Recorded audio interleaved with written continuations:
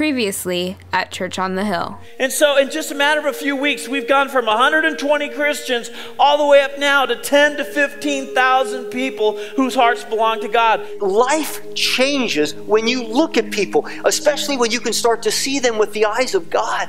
Peter says to him, Silver or gold I do not have, but what I have I give you. In the name of Jesus Christ of Nazareth, walk the apostles were performing many miraculous signs and wonders. If you can't keep quiet about God, God has your heart. If it's easy to not talk about God with people, then maybe something else has it. And Satan would love for nothing more than to creep into a church and watch it fall apart.